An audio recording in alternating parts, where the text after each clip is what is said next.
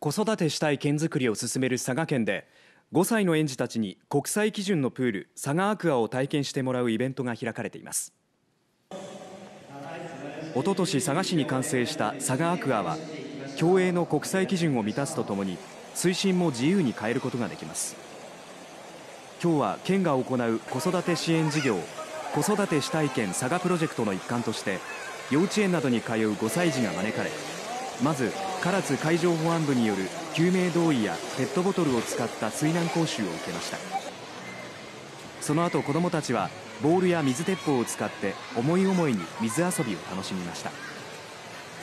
たくて楽しい。冷たくて楽しい。ちょっと難しかった。